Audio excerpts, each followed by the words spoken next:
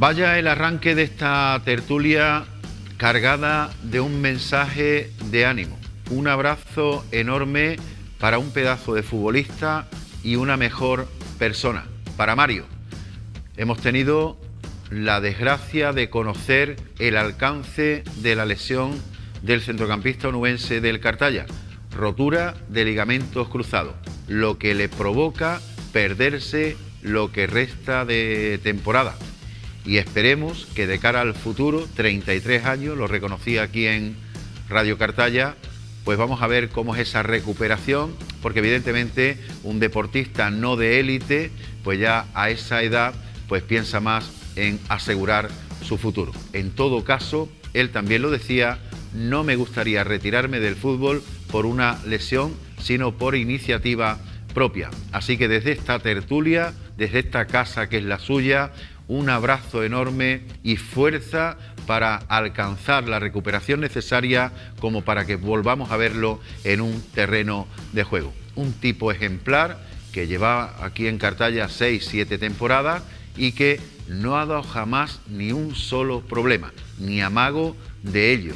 Un tipo que ha sido un ejemplo, siempre lo es, siempre lo fue y siempre lo será dentro y fuera de los terrenos de juego. Como yo he dicho en algunas ocasiones, para ponerle su comportamiento a los chicos que comienzan y a las chicas que comienzan en el deporte. ¿Qué tal? ¿Cómo están? Espero que estupendamente bien. Saludos en nombre de todo el equipo que hace posible esta tertulia de tu casa, de Radio Televisión Cartaya. Ya estamos en directo en el 107.2 de la frecuencia modulada, a través del Facebook de la radio en Cartaya TV, en el canal local de Telefibra Huelva. En una tertulia en la que vamos a repartir un poco el protagonismo, porque hoy queremos darle un repaso al clásico, a ese triunfo del Real Madrid en el Camp Nou por un gol a dos el equipo de Ancelotti que encontró un filón en Vinicius con el golazo de Alaba y el segundo tanto de Lucas Vázquez que superó al del Kun Agüero. Un Barça, como todo el mundo sabe, en horas bajas y un Madrid que no estuvo nada fino, pero le bastó con lo que hizo para imponerse en el Coliseum Blaugrana. Vamos a hablar también del juvenil que palmó, que perdió por dos goles a uno en Sevilla ante el San Roque, ante un rival al que le fue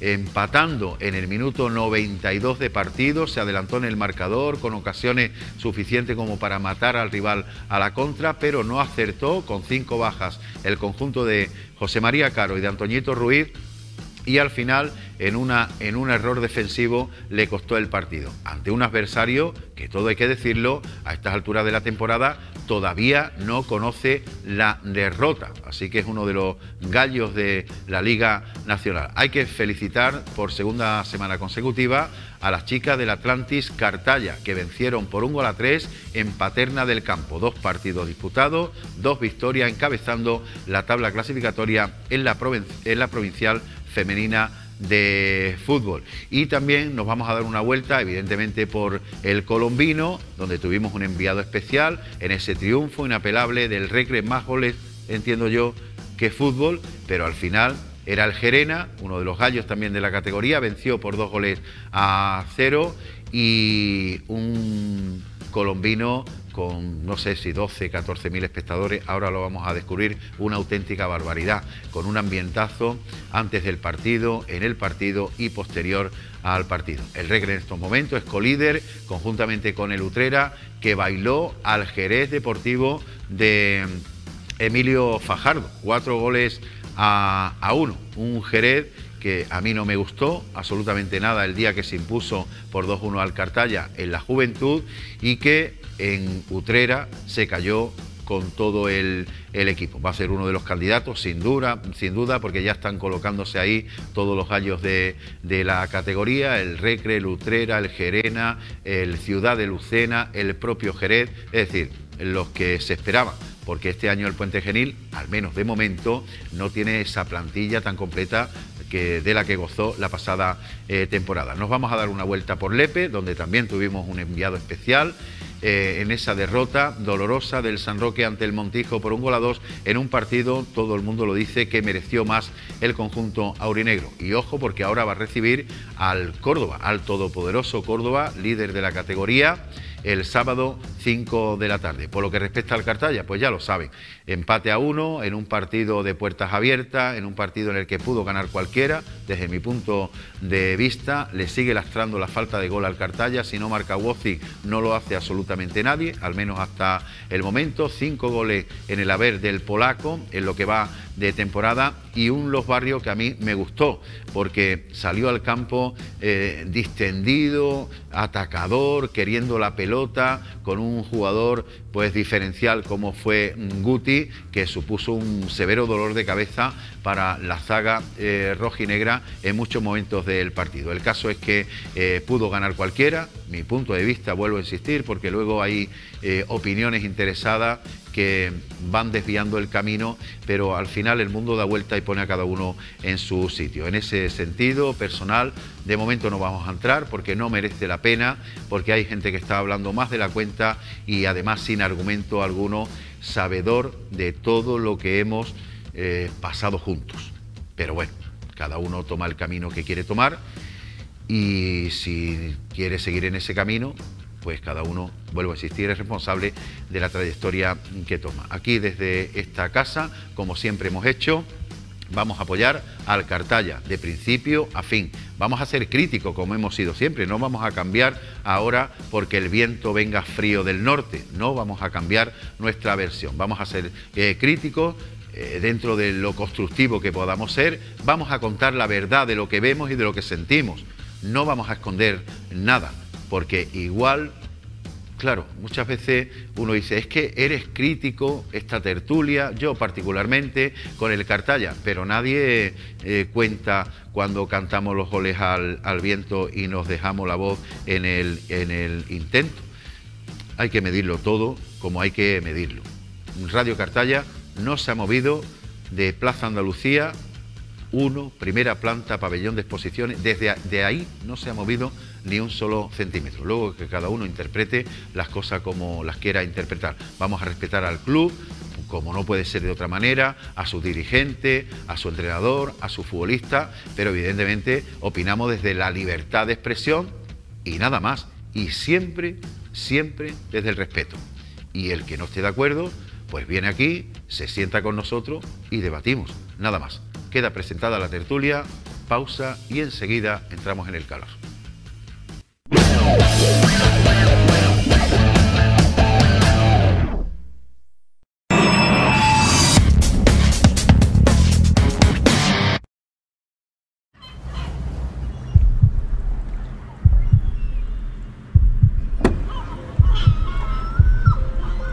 Parece que fue ayer cuando venía aquí a bañarme, a correr por la arena y a echar el día tumbado al sol. aquellas tardes a la hora de la siesta, cuando solo se oía el canto de las chicharras y nosotros nos íbamos a la playa con las bicis. Esos días, cuando con 20 duros nos comprábamos en el kiosco un helado que había que tomarse muy rápido y que nos dejaba las manos pegajosas. Las tardes comiendo pipa, contándonos las batallitas del día anterior y viendo puestas de sol interminables. Los paseitos por los alrededores del castillo con mi skate a cuesta. Cuando el abuelo Manolo volvía de la mar, qué hombre más currante y más bueno era. Los ratitos con mi tía la Juanini, siempre en la puerta de la casa, tomando el fresco y hablando con las vecinas. Niño, pasadlo bien y gastad poco, me decía. ¡Qué arte más grande! La risa con el chicha. ¡Qué guasa tenía! El primer beso con Carmen. Las largas noches de verano. Dios, esas vacaciones que duraban tres meses y en las que no había más preocupaciones que tener a mano el bañador y la toalla. Parece que fue ayer, pero aquí todo sigue como siempre.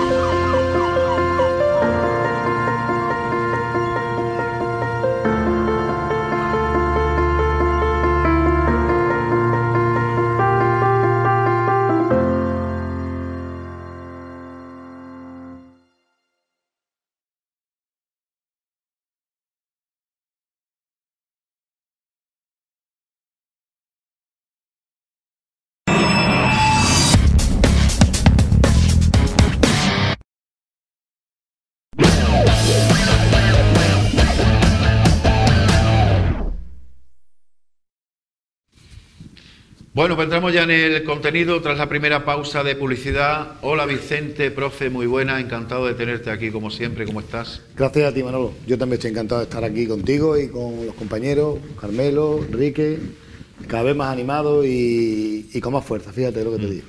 Estuviste, te voy a, empezar por ahí porque el partido fue el sábado, estuviste en Lepe viendo el San Roque, sí, tuve la oportunidad de... enviado especial de Radio Cartaya, ¿eh? de, ver el San Roque, tenía muchas ganas de ver eh, el equipo y me fascinó muchas cosas del partido, no solo que es el encuentro de fútbol, sino lo que es la afición del San Roque, cómo mueve la afición, cómo, mueve, cómo se mueve el público, mm, zonas del estadio que me llamó la atención, como es la cabina de prensa, el palco, todo muy bien estructurado. Me llamó mucho la atención. No solo ir a Alepe, pero creo que voy a ir con asiduidad a ver el partido del San Roque. ¿Y, mereció la derrota del San Roque? no, en absoluto. Para mí el San Roque fue mucho, muy superior al Montijo. El Montijo propuso un sistema de juego bastante plano, muy directo, con un jugador que marcó la diferencia, creo que se llama un tal Samuel, que creo que viene de Extremadura, me informaron por allí, mm. y un jugador fantástico, entre líneas, moviéndose hacia los lados, colaborando con el delantero, de hecho metió el gol, fue un golazo, el primer acercamiento que tuvo, centro de banda derecha, la coge de volea y la pone en el palo de que no puede llegar al portero un golazo. A partir de ahí el Montijo no hizo nada. O sea, nada en el sentido de, de en ataque. Muy plano, muy horizontal, con balones aéreos, muchas segundas jugadas. Y el San sin embargo, a partir del minuto, minuto 30 cambió un poco lo que es la dinámica de juego, porque era para el portero e intentar jugar como el otro equipo.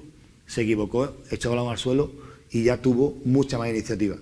Y por destacarte algo, a Veledo a Veledo. Pero sin embargo no le alcanzó para, ni siquiera para empatar. Pero se notaba como era otro futbolista en el campo. Ya no solo en el San Roque, sino en los 22 jugadores.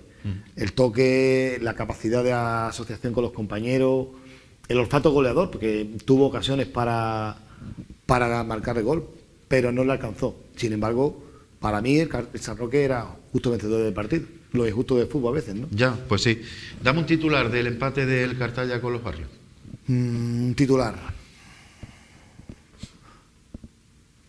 Mm, ay, titular, así a bote pronto. ¿Te pareció justo el empate? Me pareció justo el empate. Sí. Yo creo que los dos hicieron méritos para, para empatar. Yo creo que en ocasiones de gol creo que están parejos. Creo que el San Roque tuvo un momento, el perdón, los barrios tuvo un momento del partido que lo pudo haber ganado. Sin embargo, el Cartagena mm, lo sostuvo, mantuvo bien la línea defensiva y también tuvo ocasiones para, para poder ganar el partido. Yo creo que un empate es justo para los dos. Hmm. Ahora hablaremos también del futuro, porque se llama Pozo Blanco, Valle de los Pedroches, el domingo a las 12. Allí fue el partido que yo califiqué de la resurrección, cuando, si no recuerdo mal, Novoa, ¿no? el, golazo de Novoa en el centro del campo, que Limón llegaba a ese partido eh, en, la justeza total, por no decir en otro lado. El míster, el mister lo sabe que ya, ya lo hemos hablado. Permíteme que le mande un saludo también a Mario, personal, que es un jugador al que admiro, y recojo tus palabras y es un jugador que transmite valores. Sí. Y eso que tú has dicho de transmitirlo a la escuela deportiva, yo creo que es el tipo de futbolista que tú lo presentas a los niños y ellos creo que absorben bastante lo que dice. Así que ánimo Mario y suerte. Esperemos que se pueda recuperar. Hola Mardini. Hola Manolo. ¿Qué pasa? Notamos tu ausencia el, martes pasado. Ah, sí, el. No pude estar eh, con vosotros. Sobre todo porque no nos podemos meter contigo. Ya, ya. Entonces nos tuvimos que meter con José Luis Tenor. Bueno, pero José Luis Tenor lo aguanta también. Sí, lo aguanta, lo aguanta. Sí, lo aguanta. Tiene buena espalda. Tiene buena espalda. Eh, dame un titular del Cartalla. Pues es un empate justo. Ahí no hay. Creo que coincidimos porque eh, el Cartalla tuvo momentos en que pudo ganar el partido, también lo tuvo el, equipo rival y al final, pues lo más justo fue un empate, ¿no? Eh, yo siempre he dicho que los banquillos son muy importantes y la verdad es que cuando, después del gol del Cartaya, después del empate, eh, el equipo mm, visitante se desnudó. O sea, los cambios que realizó su entrenador no sumaron o no llegaron a la altura de los que estaban en el campo y el Cartaya ese tramo del partido fue bastante superior, ¿no? Que quizás por eso en el último tramo del partido el Cartaya lo pudo ganar, ¿no? Y, evidentemente le, le lastró. Tenía muy buen once titular con un Guti que es un jugador de otra categoría, está claro, y, al final pues le lastró eso, desde que no, no tuvo ese chance de banquillo, ese cambio, para, para, para ese tramo final poder ganar el partido. ¿no? Cartella estuvo muy bien, muy bien en las líneas, me gustó mucho, mucho, mucho, mucho el centro del campo, que estuvo a, buen nivel, eh, y claro, estuvo muchas veces al ritmo que marcaba el equipo rival, porque eh, en algunas veces pues lo, superaba, ¿no? Pero vamos, la verdad es que el empate me parece bastante justo el resultado. Hmm. Bueno, vamos a ver la versión que vemos en Pozo Blanco, porque hasta ahora lo hemos venido diciendo que ahora hablaremos del futuro, pero lo hemos venido diciendo aquí que es un equipo que hasta ahora, en lo que va de liga, cambia su versión de jugar en casa a Yo siempre lo he dicho, ¿no? El, el, Cartaya ya tuvo esa versión camaleónica o versión Dr. Jekyll y Mr. Hyde, como hemos nombrado muchas veces en otras temporadas, y lo está pasando este año también, porque fuera jugamos de una forma y en casa jugamos de otra. Evidentemente, eh, yo siempre soy una persona que apuesta por el fútbol y el Cartaya debería de apostar más por el fútbol cuando es visitante. Si te pintan la cara, pues te la pintan, pero eh, siempre hay una fórmula que yo lo digo, a lo mejor soy pesado, el fútbol es el mejor camino para llegar a la victoria, ¿no? Y si tú sales a no ganar el partido, pues normalmente lo que haces es palmar. Bueno, pues veremos qué versión, ahora hablaremos del futuro. Hola, comandante. Buenas noches, Enviado especial al colombino. Sí, así estamos normalmente. ¿Te gusta la palabra esa de enviado especial? Sí, sí, me, ¿Sí te gusta, me gusta mucho, hombre. ¿Cuántos espectadores había en el colombino? Hombre, tú, tú, te has pasado un poquito, porque tú como eres del EPE eres un poco... No, a ver, yo, escucha, yo no estuve en el campo, pero la información que me han dado, si es errónea, yo rectifico. ¿En torno a cuánto? En torno a 9.000. 9.000. En torno a 9.000. Vamos a dejarlo en 10.000, ni para ti ni para mí. Exactamente, en torno a 9.000, porque son normalmente... La entrada prácticamente... En eh, todos los partidos que hemos tenido en casa hasta ahora, prácticamente la entrada es la, la misma, ¿no? Porque mm. tú miras el público en en fondo numerado, en los goles, y prácticamente la asistencia es la misma, la tribuna prácticamente llena. Entonces, pues aproximadamente sobre, sobre 9.000, entre 9.000 y 10.000 El Colombino hace unos 24.000, ¿no? 22.000. 22.000 22, hace el Colombino. Lógicamente, si hay 10.000 a mitad, pues parece que el campo está vacío, ¿no? Pero la tribuna sí está prácticamente llena. De hecho, si vas a sacar entrada de tribuna, te cuesta trabajo encontrar una en condiciones. Normalmente te tiene que ir a una esquina o a la otra esquina, no hay entrada a la venta de la, de la tribuna porque se han dado de alta muchos socios. ¿Justo vencedor el Recre? Sí, sí. Eh, justo vencedor en el sentido de que fue el que marcó los goles. y aquí el que marca los goles es el, que, es el merecedor del triunfo. ¿no? Eh, el Gerena es un equipo que, como tú bien conoces, eh, te mata jugando al fútbol, te combinan perfectamente en el centro, tiene dos laterales eh, buenísimos, tiene un medio centro que es buenísimo, que, te la mueve y te, vuelve loco. Ellos tienen un fútbol combinativo que, a cualquier equipo lo puede matar, pero nosotros, el Recreativo de Huelva fue capaz de, contrarrestar todo ese fútbol y, prácticamente el Gerena no le creó ni una sola ocasión de gol, ¿no? Exceptuando un tiro en la segunda parte de fuera eh, que dio en el palo, pues fue el único bagaje ofensivo del Gerena fue ese, ¿no? no tuvo ninguna opción. Nosotros, ¿Qué tal los laterales? A mí, a mí no, no, el Recreativo le hasta Ahora, hasta ahora los laterales del Gerena son los que más me han gustado de la categoría. Los taponó. Los taponó. Los taponó. El sistema que le planteó Alberto Gallego lo dejó frío a, los dos laterales prácticamente. Un par de llegadas del, número 2, que, que al final del partido se lesionó y lo tuvieron que cambiar el número, el 3, prácticamente eh, pasó desapercibido por el estadio.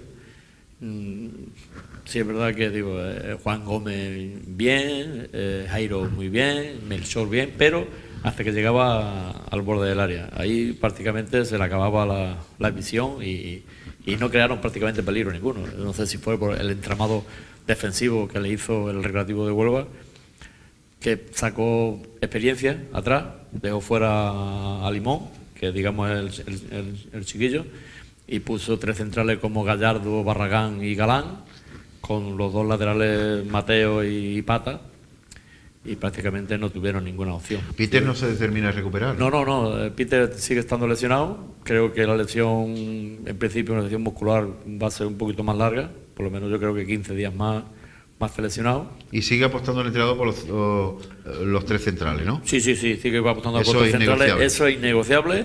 Los tres centrales, los dos carrileros largos, eh, eh, los dos, los dos Medio mediocentros y las dos medias puntas haciendo como un cuadrado y el delantero centro allí arriba pegándose con, con- con los centrales. Eso es innegociable. Eh, el partido prácticamente fue esa la, la historia. El Gerena obligaba al recreativo a pegar el pelotazo, porque te venía tres tíos arriba a presionar la salida de balón del recreativo, y lo que obligaba a Rubén es pegar el pelotazo, recuperar el balón, le quitó el balón, prácticamente el recreativo no vio el balón en todo el partido, no lo vio prácticamente, pues no tuvo opción casi casi de, de- de- combinar, pero eh, la pegada del, del recreativo pues, mató a mató al Gerena, ¿no? Dos, Y- dos y- dos pelotas, dos pelotas ¿Y piensas que con eso le va a ser suficiente para mm, alcanzar el liderato? Porque otro objetivo no tiene el Recre. Es decir, eh, el entrenador ha dicho en alguna que otra ocasión que le importa un pepino el fútbol, que lo que quiere es ganar. Eso lo ha dicho él. Pero sí es verdad que cuando se quede sin resultado, no sé si se va a acordar, del fútbol. Yo creo que le va a dar. ¿Le va a Yo dar? creo que le va a dar, sí. Porque si es capaz de dejar mm, a cero al Gerena, después que el Gerena ha marcado en todos los campos donde ha jugado, ha marcado, incluso empató 3 a 3 en Lucena, y ha sido capaz de dejar sin, sin gol al Gerena, que es de los equipos más fuertes en ese sentido, yo creo que le va a dar. El sistema le va a dar. Porque por muy poco que haga, por muy poco que haga, va a tener una. Y te la va a colar. Y si tu puerta se queda a cero, tú vas a ganar partido que hay seguro.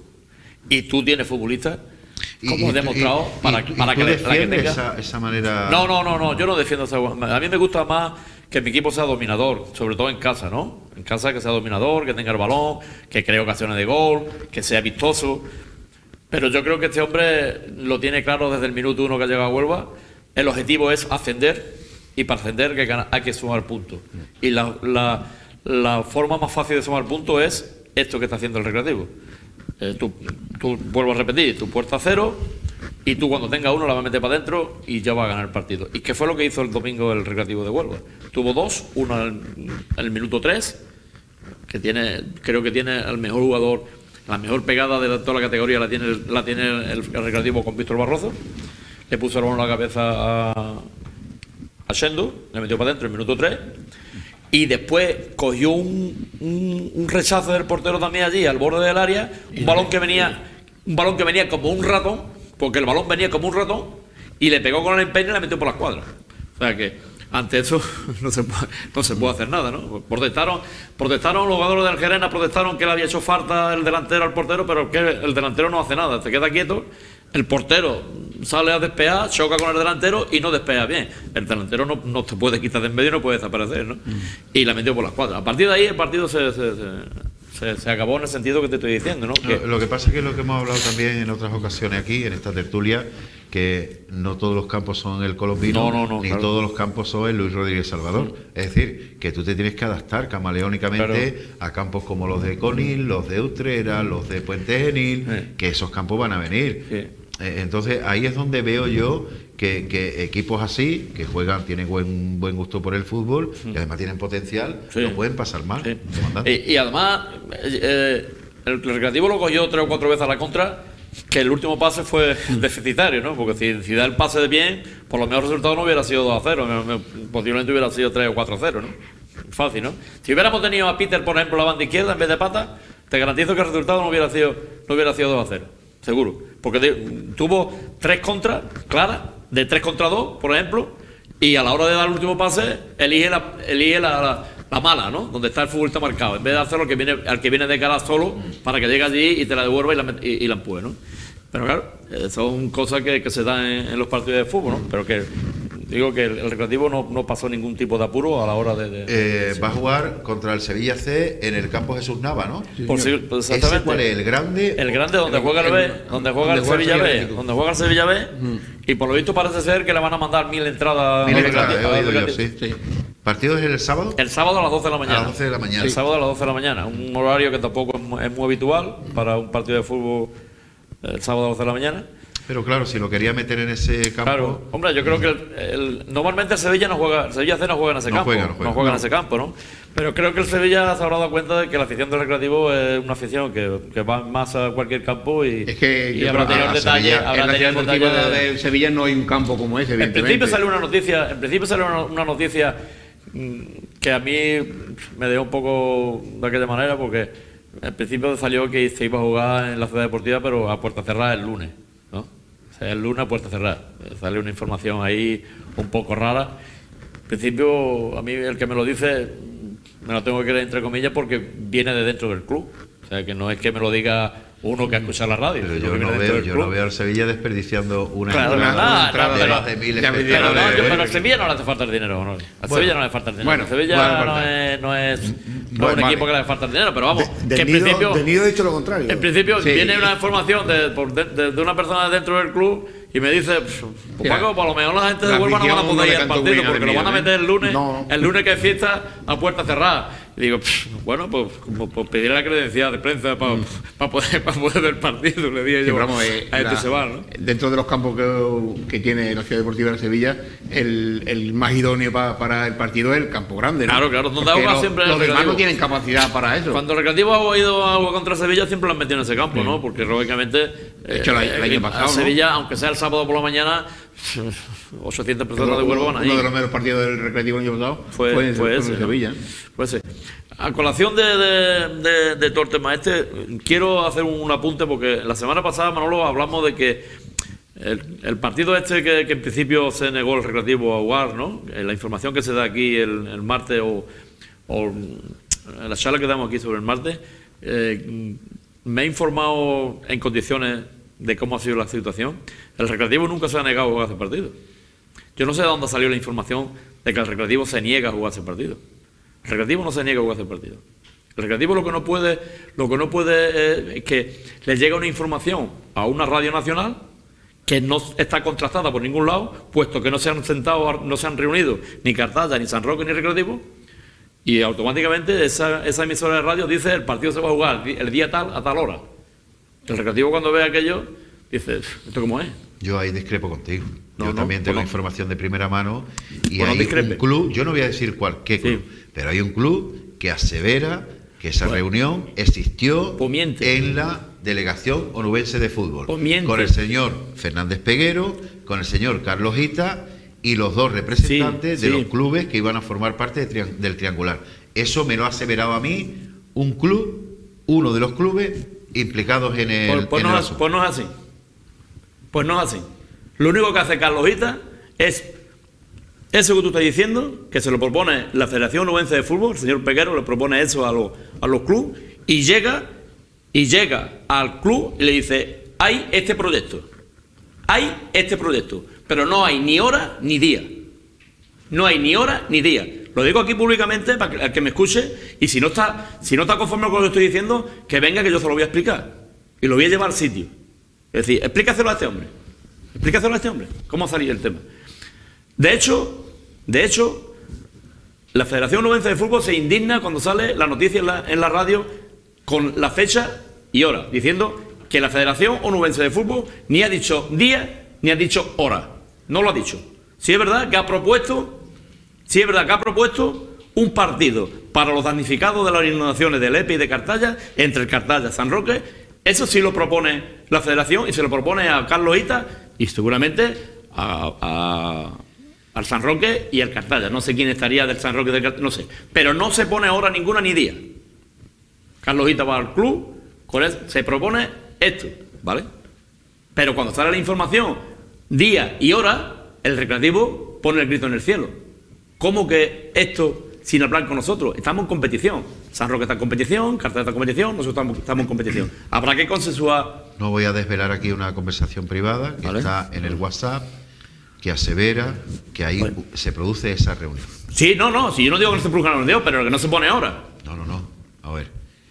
Hay esa propuesta, tú lo has explicado francamente bien, Sí. hay esa propuesta, Sí. y el señor Carlos Gita Sí. se dirige al club y le comunica al presidente o al consejo de administración esa propuesta que hay. Sí, vale. Hay una filtración Sí. y, el, y el recreativo se cabrea y la federación se cabrea. Sí. Pero que esa reunión, yo tengo constancia de que se produce. Sí, sí, sí, sí. Yo no digo que no se produzca esa reunión. Eso. Sí, yo no digo que no se produzca esa reunión. Yo no estoy diciendo que esa reunión no se produzca. Se produce esa reunión.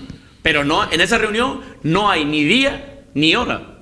Y lo que mosquea al recreativo de Huelva es que salga en, una, en un medio de comunicación nacional día y hora. Sin consultar Sí, se dijo en la cadena SER. Exactamente. Exacta- eh, Por eso el recreativo se mosquea. Y por eso el recreativo da el comunicado. Que el comunicado lo tiene que haber dicho la Federación Nubense de Fútbol, que es la organizadora del evento. El, el el- el- que propone. El que propone.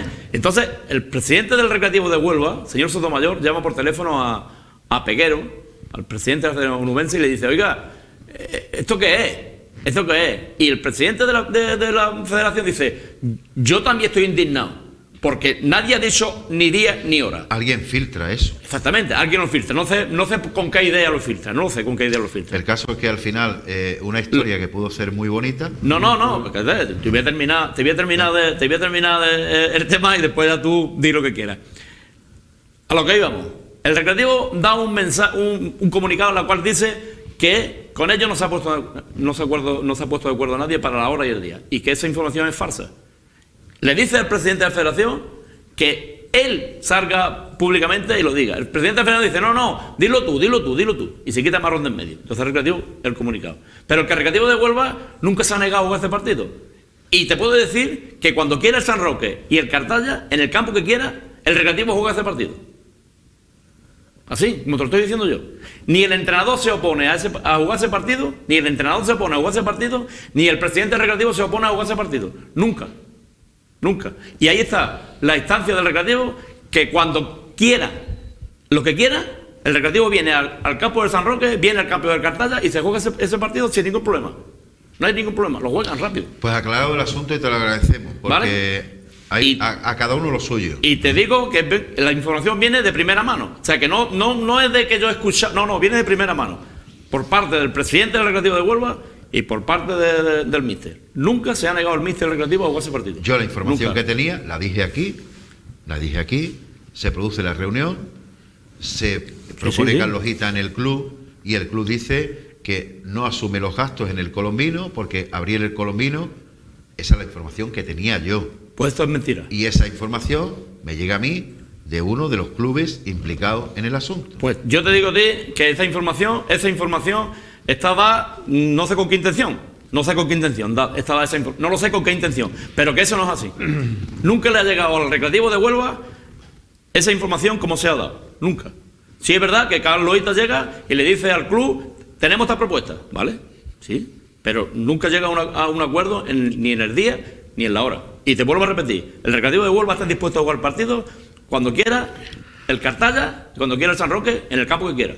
Porque también es verdad lo que dice, lo que dice el presidente del recreativo, que las inundaciones han sido en Cartaya y en Lepe, ¿no? Que en Huelva no ha habido ninguna in- inundación. Que normalmente cuando hay un, partido para los damnificados, el equipo va al campo de los damnificados, como hizo el Madrid en Lorca. El terremoto, el Madrid fue a Lorca, no fue Lorca Es al, decir, al que si ese triangular, ya que nos tenemos que ir a publicidad, se disputase, si se llegara a un acuerdo, tendría que ser o bien el Lepe. No, no, si, pues, o si- bien si- Cartaya. si los equipos proponen el, el estadio colombino, el estadio colombino. Ah, o sea, que eso, a ver, que aquí, aquí no hay ningún ningún las cosas es proponerlo y llegar a un acuerdo en qué campo se va a jugar. Vale. Que lo que dice el recreativo es que normalmente donde se tiene que jugar partido es donde En están los el damnificados. de los damnificados. de los damnificados, que es lo lógico, ¿no? Es lo lógico. Es lo lógico es así, ¿no? Queda Eso es. claro. Publicidad y enseguida estamos de vuelta.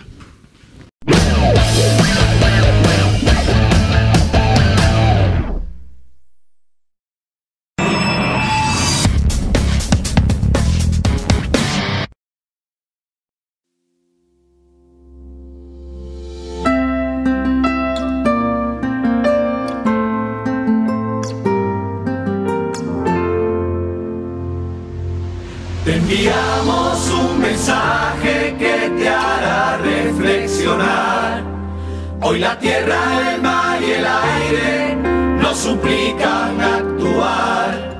Cuidemos nuestro planeta, cada uno poniendo un granito de arena, se reverde y no dejes de reciclar.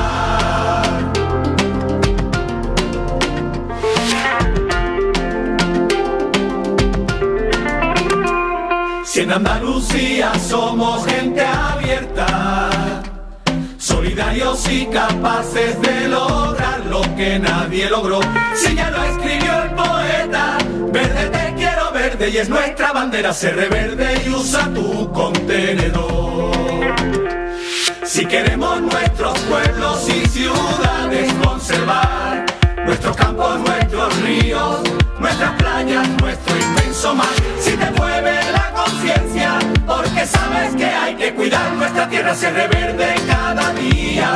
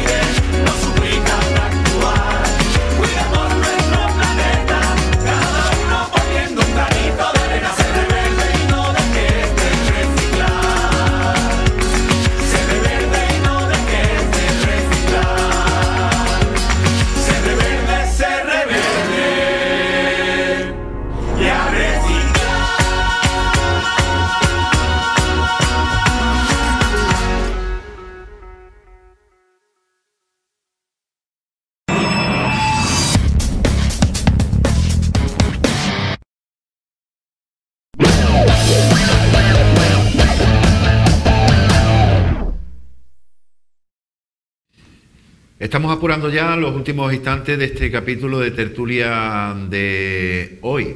Lo acaba de aclarar el comandante Paco Carrasco que el Recreativo de Huelva está dispuesto, siempre y cuando se llegue a un acuerdo, se hable, se dialogue, para llevar a cabo ese triangular que estaba previsto en beneficio, en favor de los damnificados por la DANA del pasado 23 de septiembre.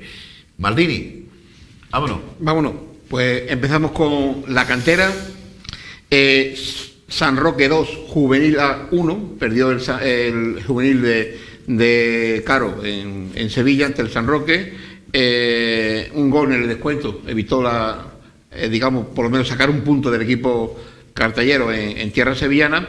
Y ahora mismo, pues el gol fue de Manuel Benítez Rebollo.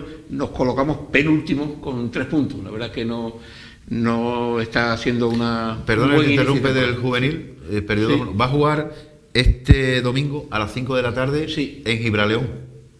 En Gibraleón contra el Recreativo.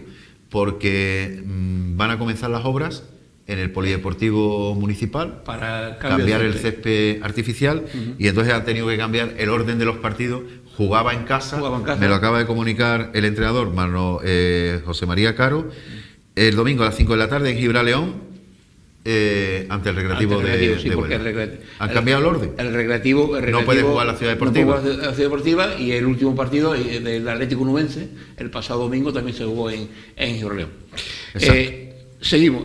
El juvenil B perdió en Lepe ante el San Roque por cuatro goles a uno. El gol de nuestro juvenil fue obra de Van Jesús Constantino. Y con dos a uno nos quedamos con uno menos y los chicos de Pepe Aranda pues, no pudieron hacer nada para remontar el partido. El cadete perdió en Huelva ante la Marima del Polvorín por 10 a 4. Los chicos de Mandesi, con dos expulsados, tampoco fueron eh, capaces de remontar el partido. Marcaron Manuel Ramos, Pepe Ceada, Juan Marañón y Amin, el chico eh, marroquí que tiene la agrupación deportiva Cartaya Cadete. Eh, los Rosales 2, Infantil A 0. También perdimos en, Huelva ante el potente equipo capitalino.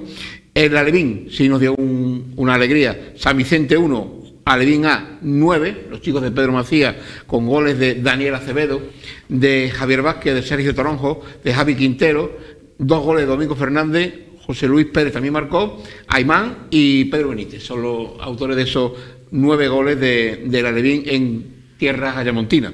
El Benjamín A también se dio un buen atracón, 10 a 0 ante el Moguer, con goles de Rafael Pérez, que marcó un hat-trick, Juan Jesús González, que marcó dos, Isaac Bogda, que marcó tres goles, eh, y Álvaro Rivera.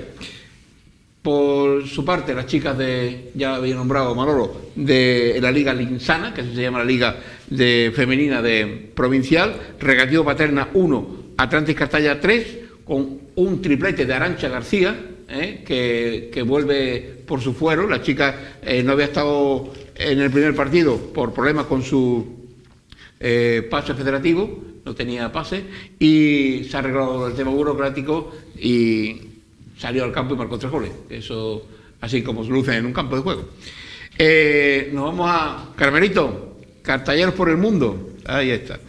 Eh, eh, Simón con el Mirandés ante el potente Almería. Mirandés 1, Almería 4. Eh, la verdad que el equipo almeriense se ha consolidado en lo más alto de la tabla y el equipo eh, de Miranda de Ebro no pudo hacer nada ante, ante el potencial del equipo rival.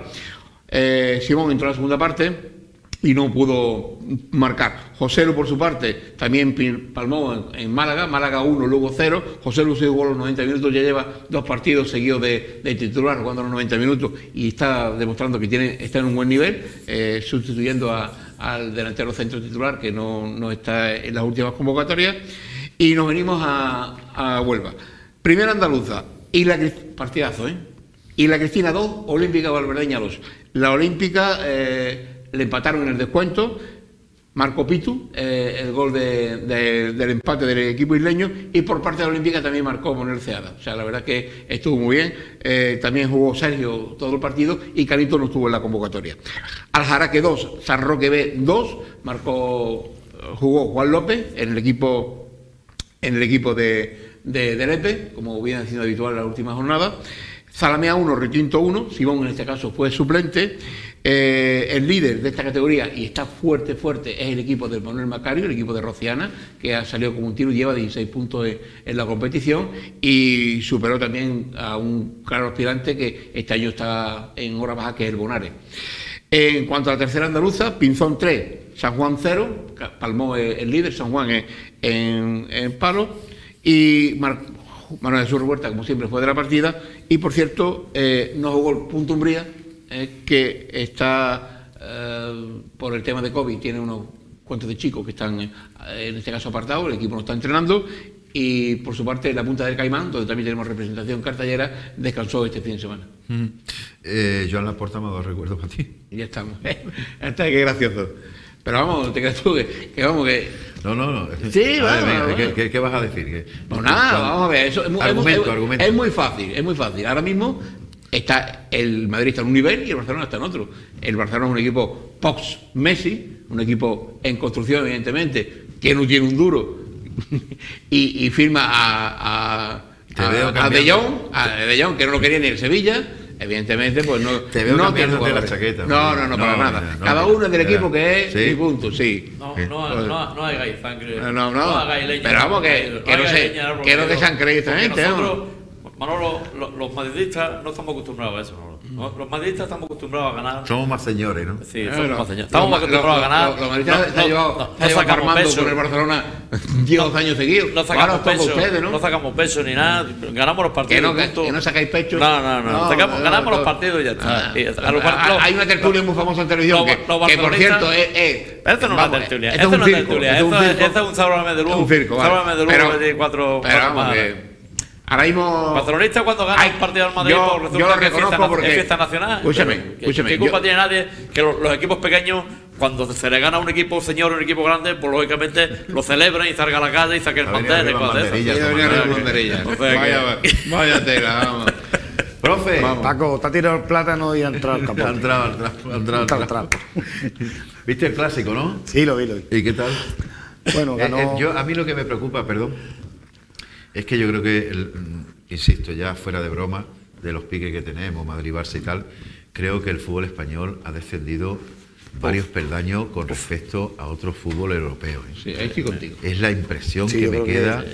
La liga ha bajado uno, no. Yo creo que un par de escalones Es que la, la- respecto a la liga puntera como la Sí, pero película o- Cristiano Messi la era una película. la- Sí, pero claro, pero Cristiano Sí, pero Messi ya- la le llega al final porque ya tú, en los tú has últimos visto el fin de tiempos- semana, los últimos temporadas de Messi, no era Messi, de Ronaldo tampoco, de hecho a Ronaldo se le fue la pinza porque el Liverpool le dio un repazo, ese sí partido sí lo vi, ¿eh? 0-5 que le metió Va el a terminar Liverpool regular. Yo al creo que. Cristiano, como todos los jugadores se han marchado del Madrid, se equivocó con Totalmente. ese ego personal que tiene. Mira que es bueno el tío, Ya, pero- un goleador histórico, pero ese ego personal lo ha ido matando. Ha salido mal de la Juve, se fue mal del Madrid. De la Yo Juve no llegó- sé cómo. ha llegado a decir Chiellini de, de él que mejor que no hubiera ido.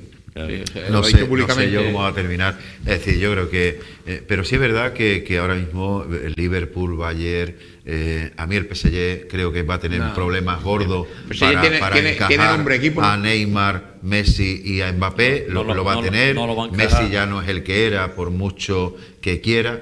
Porque tienes chispazos, esos chispazos de, de un jugador de, de- de otra categoría, Claro. porque está fuera de, cata- de catalogación, pero sí es verdad que eh, eh, eh, con ese tridente creo que Pochettino va a tener problemas para encuadrarlo en un sistema que le compita al Liverpool, que le compita al Bayern.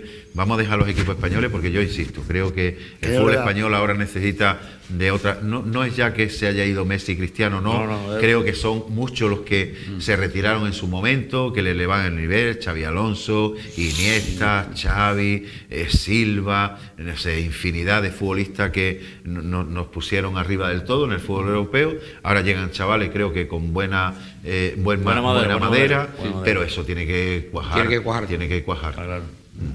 Exacto.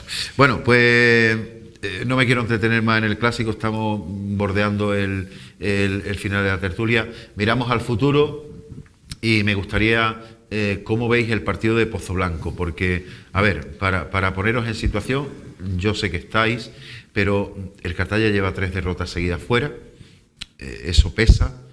Lo que quiere decir que el rendimiento en casa no está teniendo nada que ver con fuera de planteamiento de pizarra. El rendimiento fuera no está siendo como está siendo en casa, que es bastante aceptable. Tiene ocho puntos, el rival tiene siete. Campo del Pozo Blanco, jugar en Pozo Blanco siempre ha sido muy complicado, por muy mal que esté eh, eh, el equipo en un periodo eh, determinado. Mm, yo creo que va siendo hora de que tenga que dar otro golpe en la mesa porque, a ver, que nada es definitivo en octubre, ni en noviembre, ni en diciembre, el definitivo es en mayo, abril, mayo, pero sí es verdad que meterte ahí después para salir cuesta, comandante. Hombre, sí es verdad que el Cartaya, cuando sale de, de su, de su entorno, de su terreno de juego, baja mucho lo- las prestaciones, ¿no? Pero sí es verdad que también que va a llegar un campo de Pozo Blanco que tampoco Pozo Blanco está en sus mejores, No, no, en sus mejores, en sus mejores tiempos, ¿no? Y, y quiera o no quiera, ahí se Pero iguala. está a un punto de ti. Sí, sí, pero, Está- hay- pero está- se iguala mucho la fuerza en el sentido de que ni, ni, el, ni el Cartaya está tan fino fuera, pero tampoco el Pozo Blanco está tan fino en su casa. Entonces ahí se, se puede igualar un poquito la fuerza y si el Cartaya es un poco inteligente y juega con los nervios de- de- de- del contrario, pues yo creo que, y que no sirve de precedente, creo que estoy un poco más optimista esta semana con el Cartaya en Pozo Blanco, aunque la gente diga pues, es que es el Pozo Blanco. No, si el Pero- optimismo no hay que perderlo, pero, sí es verdad que tiene que cambiar ese registro. es decir, pero hasta yo ahora, creo que las fuerzas se igualan un poquito hasta este ahora en los partidos fuera de casa, los registros que está mostrando no le alcanzan. Sí. Salvo en la primera jornada en Rota, aquel partido pasó lo que pasó, ganó 1-3, ganó bien, pero es, es verdad que tuvo fases del partido en los que estuvo también el alambre. Es decir, aquí no hay nada fácil de que nadie vaya a ganar, salvo No. este, este última jornada. El Utrera le mete 4 al Jerez. también tampoco verdad es normal, que tampoco no, es normal que no es normal, no es normal. No es que normal. venía muy cansado, muchos partidos, Copa Federación, en fin, jugando entre semana. Por muy profesionales que sea, eso se termina Claro. acusando. Pero yo a mí me da, Maldini, que el Cartaya está necesitando por el sosiego, ¿eh? Por el sosiego propio, un golpe de mano ya afuera. Sí, eso está claro, ¿no? Tiene que, eh, que cambiarse ese, ese, ese frac, ese de, ese traje, ¿no? Y, y ponerse el traje de como juega en casa, juega más tranquilo, con más eh, eh, porque el criterio futbolístico lo tiene, evidentemente, tiene los mimbres, pero lo que tiene que hacer es jugar mm, eh, imaginarse que está jugando en el, en el Luis Rodríguez Salvador, ¿no? Eh, que está en casa jugando. Y, y tener, por ejemplo, el desparpajo que tuvo los barrios, salió aquí eh, sin problema ninguno, a jugar al fútbol. Y yo creo que el Cartaya simplemente y tiene que, que eso, antes, salir ¿no? a jugar al fútbol. Tu y propia identidad, ¿no? Salir al campo con tu propia identidad. Sí, si tú sí. no tienes identidad, Salir a jugar al fútbol y si está. tú vas, si tú sales al campo de fútbol mirando al contrario, pues entonces Malo. lo tienes chungo. Tú tienes que salir al campo Yo- para el yo contrario, cre- creo, para que el creo, contrario eh, te mira, bajo te mi mira, te mira a ti. que algunos registros tiene que cambiar Claro, con respecto claro. a eso. Es decir, eh, igual tiene que salir con otra predisposición, salir a, a comerse el, el partido, que no lo sé, pero que necesita algo diferente Sí. a lo que ha estado haciendo hasta ahora, porque con eso no lo ha alcanzado. No, no, no. el, equipo de- el equipo que jugó aquí eh, el domingo eh, es bueno, ¿no? Y, y a los barrios le jugó de tú a tú y, y no ganó el partido por, por pura mala suerte, digamos, ¿no? Porque se mereció ganarlo. Hombre, eh, también se mereció a lo mejor perderlo, pero se mereció más ganarlo. Si tú lo pones en una balanza, a lo mejor ponemos 60-40, ¿no? 60-40 a favor del Cartaya, ¿no? Pues salga usted al campo del Pozo Blanco con ese equipo y a, y- y a decirle al Pozo Blanco, eh, preocúpate de mí, preocúpate de mí. Escúchame. Escúchame, que aquí estoy yo. Escúchame. Aquí. Aquí vengo yo a jugar fútbol y a demostrarte que estoy igual que tú. Igual aquí. que tú. Igual que tú aquí. Y que se preocupe el Pozo Van a necesitar atrevi- atrevimiento. Profe. Yo creo que el Cartaya, mm, atreviéndose un poquito más y dando un paso adelante, Claro, yo creo que es capaz de.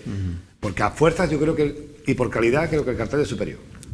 Lo que pasa es que, claro, tiene el otro la afición, el campo. Pero si el Cartaya templa los nervios, como tú bien has dicho, del equipo contrario y le pone sobre el césped la calidad que tiene el centro del campo y la plantilla en general de, Tampoco van a Cartaya, entrar allí 10.000 yo creo que personas, se lleva otro punto de Pozo Blanco. Tampoco Pozo Blanco van a entrar 10.000 personas. Que allí van, al menos van a haber 500 o 600, no va a haber más. Sí, ¿no? pero no una Tampoco, mala una, entrada. eh, tampoco es que, que va a hacer una presión demasiado. No, sí, pero un campo, público. es un campo, un donde Sí, sí, yo sé donde que es un campo se duro porque todos los años. Es duro y la presión es los bastante. años, todos los años el equipo Pozo Blanco, el Pozo Blanco está todos los años arriba en la categoría, en la, en la Más tercera que nada división, el ¿no? juego que propone Pozo Blanco. Claro. Es un juego plano, de segunda jugada, de balones arriba, claro. ilustrar los delanteros. Claro. Eso incomoda mucho al Cartaya porque no le baja el balón al, pie, a- al suelo. Estamos hablando también que el Cartaya necesita dar un golpe de efecto eh, para ganar el sosiego, porque cuando tú no sumas nada fuera, te pones siempre en el alambre de tener que ganar por obligación, Por obligación. dentro, porque si no te metes en un lío. Pero también el Pozo Blanco tendrá su pensamiento, es decir, yo estoy a un punto del Cartaya, si, si le gano, si le gano, lo supero la tabla y lo meto aquí y lo donde meto aquí yo. Es decir, que yo creo que el partido es muy atractivo por todo lo que se va a proponer dentro del mismo. Claro, claro. Es un partido que, que además creo que son dos equipos que se están jugando, como tú bien dices, el meterse abajo o no meterse, ¿no? Porque imagínate que, que el Pozo Blanco le da, Cartaya le da por ganar al Pozo Blanco. El Pozo Blanco no está hecho para pelear por los puestos de abajo. Creo que está más hecho para jugar Pero esto es como, el- esto como arriba, ¿no? comandante, esto es como en el partido del Rota. Cuando tú ganas 1-3 en Rota, Claro. que sabe que el Rota va a estar ahí abajo, en la segunda vuelta, si le vuelve a ganar aquí, ya es Ya. un- ya el de la primera fue un partido de más de tres puntos. Claro, claro, por pues supuesto. lo mismo por puede eso ocurrir digo, ahora claro, en Pozo Blanco. Por eso es lo que estamos hablando, ¿no? Que, que es un partido que prácticamente, a ver, si tú le ganas allí el gol a verá, pues mira, pues a la hora de la verdad, si vamos a estar ahí igualado, igualado, pues una ventaja. Es que ¿no? yo creo que vienen dos jornadas ahora. Creo que el siguiente aquí es el Cabecense. ¿puede Cabecense. ser? Cabecense. Puede ser, ¿no? Sí. Dicho esto con todo el respeto. Sí, para otro equipo que está ahí abajo. Sí, pero, Para todos los rivales. sí, claro, por supuesto, claro. ¿no? Pero que, pero que vienen dos jornadas ahora que pueden ser, Propicias. si al Cartaya Claro. le salen las cosas, muy fructífera Hombre, para, para el es equipo. que si no le ganamos al Cabecense aquí en Cartaya, si no le ganamos al Cabecense en Cartaya, es que tú no te mereces eh, estar en otro sitio que, que- que no sea la zona de abajo. Que el ca- Cabecense hay que ganarle, sí o sí. No, ya ha habido un cambio de entrenador, el del Puente Genil. Puente Genil. Es posible que si el Cabecense esta semana no gana, también cambie de entrenador y venga con entrenador nuevo aquí a Cartaya. Claro, ¿eh? Es no, posible. que el Cabecense- La información que si tú tenemos no le- es posible. Si tú no le ganas al Tomar, no le ganas al Cabecense, no le ganas a esos equipos, entonces, ¿qué te, qué- qué te mereces? Apague y vámonos. ¿Qué te mereces tú? No, no, pero es lo que estamos hablando. Hay que llamarlo, Que eh. Hay una liga por arriba Y una liga por abajo. Esta, Ah, claro. esta competición no tiene término medio. No, no, hay- no. Hay una Ahí- liga por arriba y una claro. liga por abajo. Hay seis equipos arriba que van a pelear por pelear Y el por resto arriba por no y, el resto, y el resto va a pelear por no A descender. pegar- el resto a pegarse pedra. a, pegar- a pegarse pedra y y- y- y a pegar bocado. Bocado. Wozzi, cinco goles. Máximo Sí. goleador del equipo en ocho jornadas. Y, y de la categoría también será, ¿no? Pues yo no sé si habrá muchos futbolistas con más de cinco goles. No, No, él- No lo sé, no lo sé. yo no creo que Melchor tiene cinco goles. Melchor No lo- tiene que estar por ahí, por ahí, con Melchor siete tiene goles, cinco. creo. No lo he mirado. Siete tiene Melchor o cinco. Creo que por ahí. No lo he mirado, pero el jugador de, del Sevilla. eh, Diego.